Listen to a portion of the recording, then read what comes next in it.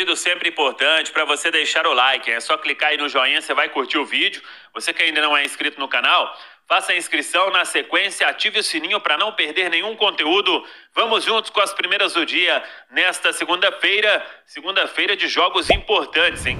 Torcedor do Cruzeiro de olho, porque o Campeonato Brasileiro aí saiu desmembrando aí, tem time devendo o jogo, tem jogo antecipado, enfim.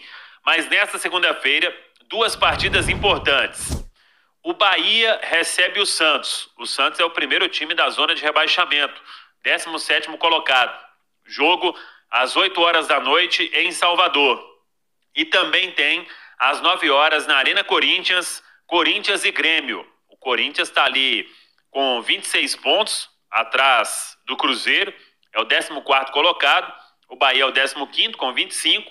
Então são jogos importantes aí. O Grêmio, que já está mais em cima, está com 39 pontos, uma situação aí é de pensar em Copa Libertadores. São as duas partidas desta segunda-feira na Série A do Campeonato Brasileiro. Quarta-feira é o Cruzeiro, nove e meia da noite, Maracanã. E o torcedor do Cruzeiro que tiver interesse, oitenta reais a inteira, quarenta reais a meia entrada.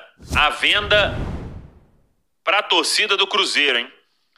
Tem a venda online através do Futebol Card, você já pode comprar, e também na bilheteria 1 do Maracanã. Aí nessa segunda-feira, a partir das 10 horas da manhã.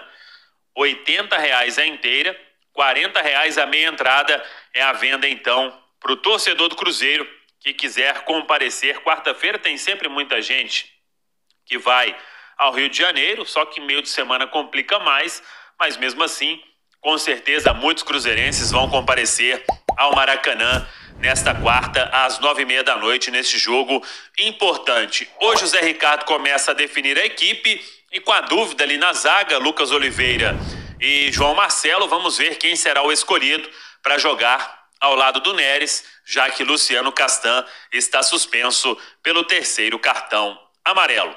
Tá falado, pessoal? Um abraço, até a próxima. Vamos que vamos!